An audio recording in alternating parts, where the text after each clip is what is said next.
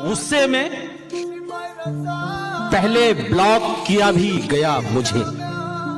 गुस्से में पहले ब्लॉक किया भी गया मुझे। फिर फेक आईडी से पढ़ा भी गया मुझे। वाह वाह। और शेर सुनिए गज़ल का के नाराज़ इस कदर के बिछड़ने की सोच ली। आहा, आहा, क्या बात। नाराज़ इस कदर के बिछड़ने की सोच ली। और मासूम इस कदर के बता भी गया मुझे।